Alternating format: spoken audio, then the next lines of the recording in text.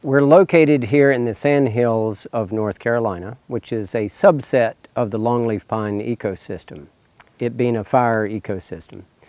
My family uh, has been working with fire for five generations. Uh, historically, we, we began our relationship with fire through turpentine. That's what we did as, as a family. We located here to where we are today in 1870, following the turpentine industry. And what would happen is when they were getting ready to go into a new, what they call orchard, new stand of trees to tap, uh, in advance of that, they would burn it to clear back all the underbrush to make sure that it was easy to get in and, and, and work.